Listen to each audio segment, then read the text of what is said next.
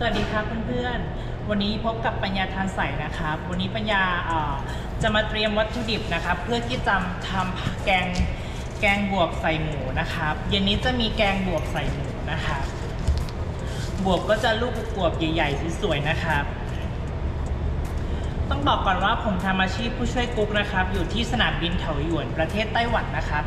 มาในโคต้าของงานก่อสร้างสนามบินเถาหยวนนะครับ แต่ว่า ทำในอาชีพผู้ช่วยกุ๊กนะครับ เดี๋ยวเราจะมาเล่ากันนะครับว่าการเตรียมตัวหรือการเตรียมความพร้อมของร่างกายที่จะมาทำงานอาชีพกุ๊กหรือผู้ช่วยกุ๊กเนี่ยต้องเตรียมตัวยังไงบ้างแล้วก็ข้อดีและข้อเสียมีอะไรบ้างนะครับ ข้อเสียมีแน่นอนนะครับ เดี๋ยวเล่าให้ฟังอันดับแรกนะครับหนึ่งข้อเสียก่อนนะครับ ก็คือเราต้องตื่นตั้งแต่ตีสามนะครับตีสามตื่นขึ้นมาอาบน้ำล้างหน้าแปรงฟันก็ เสร็จประมาณตีสามยี่สิบแล้วก็ลงมาหน้างานนะครับ หลังจากลงมาหน้างานเราก็ทำงานปกติสับไก่สับหมูสับอะไรต่างๆ แล้วก็ข้อที่สองที่เป็นข้อเสียนะครับ นิ้วเรานะครับจะชาไปหมดเลยนะครับ ปลายนิ้วจะไม่มีความรู้สึกมันจะเหมือนชาๆนะครับ แล้วก็นิ้วโป้งกับนิ้วชี้จะแข็งมากนะครับ แล้วก็ดีดนิ้วไม่ได้เห็นปะเนี่ยแต่ก่อนผมชอบดีดนิ้วนั้นตามคลิปแบบดูได้ ดีดนิ้วไม่ได้นะครับ ไม่เหมือนข้างนี้ ข้างนี้นีบดีดได้ ข้างนี้มือปกตินะครับ ไม่มีอะไรเกิดขึ้นแต่ข้างนี้คือ มือแข็งในช่วงนิ้วเนี่ยนิ้วโป้งนิ้วชี้นิ้วกลางเนี่ยแข็งมากเลยแบบ เพราะว่ามันเกิดจากอะไรเกิดจากสาเหตุนี้นะครับนี่เราสับหมูนะครับปุ๊บเนี่ยเราจะกำมือตลอดสับไก่นะครับสับเป็นตัวตัวเงี้ยอย่างเงี้ยอย่างเงี้ยตลอดแล้วเราจะไม่ได้แบมือออกมาอย่างนี้นะครับ เพราะเราเพราะเรากำอยู่ตลอดเงี้ยมันกำทุกวันทุกวันทุกวันปุ๊บเนี่ยมือเราเกิดอาการล็อกนะครับเป็นคล้ายนิ้วล็อกอะง่ายๆ มันมีอาการล็อกของนิ้วนะครับ มันก็เลยทำให้มือของเรานั้นนะไม่ปกตินะครับ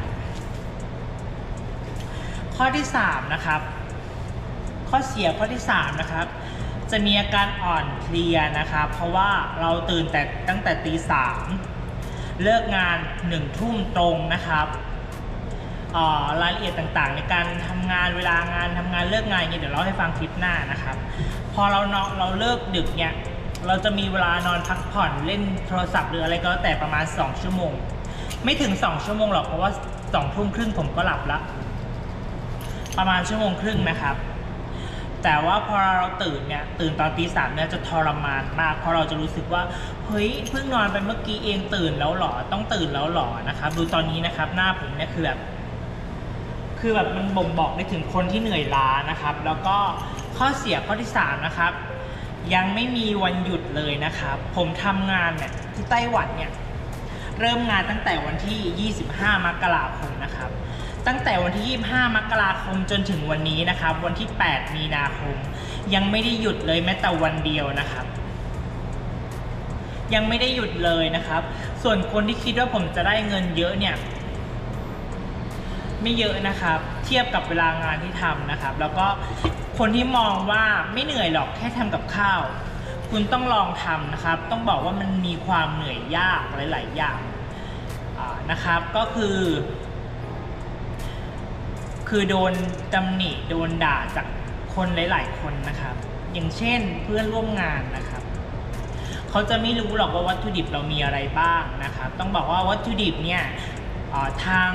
ทางแบบทางล่ามเนี่ยเขาจะเป็นคนจัดการเขาจะเป็นคนสั่งมานะครับเขาก็จะเอามาส่งให้เราทุกวันพฤหัสบดีนะครับเขาจะเอาอะไรส่งมาแล้วก็แล้วแต่เราจะไม่มีทางรู้นะครับ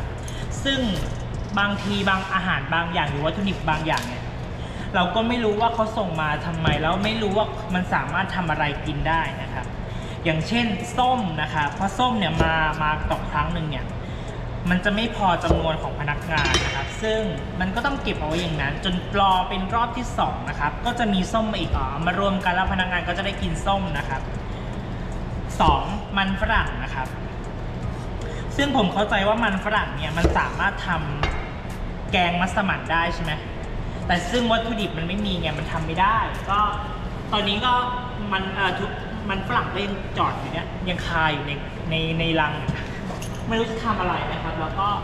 ส่วนมากนะครับ มันก็จะเป็นแกงนะครับ แกงเผ็ดแกงเขียวหวานเอาเป็นผัดเผ็ดมันก็จะสลับหมุนเวียนกัน ก็คือ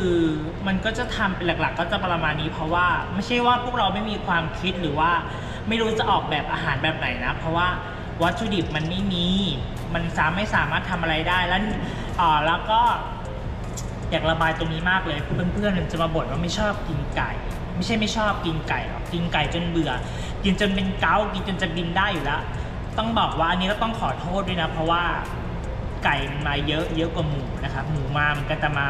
มันมันหมูมันทำทุกมือไม่ได้เพราะหมูมันมีจำนวนจำกัดนะครับ แต่ว่าไก่มันมันไม่มีจำนวนจำกัดมันมีเยอะ แล้วมีเพียงพอจนครบ 7 วัน แล้วครบทุกมือก็ยังว่าได้นะครับ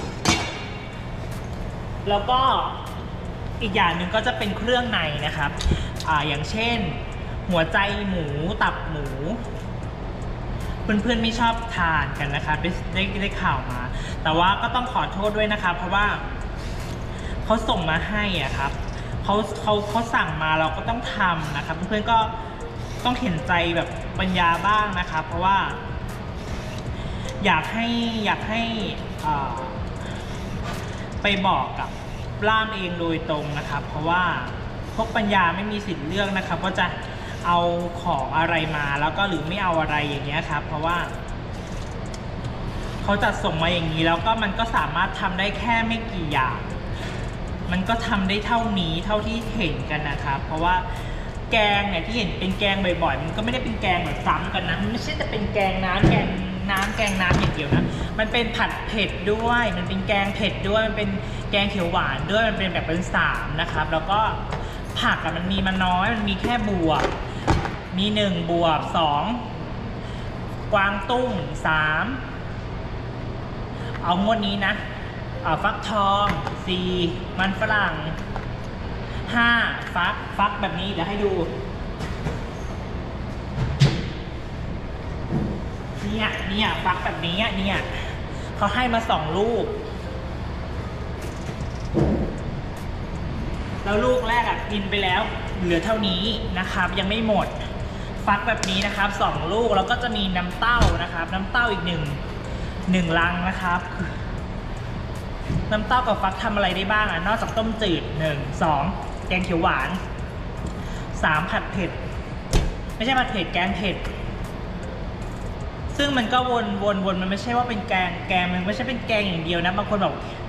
มีแต่แกงก็เป็นแกงก็จริงแต่มันสลับผักไปหลาย ๆ อย่าง ก็ดูเป็นหลาย ๆ อย่างอยู่นะครับ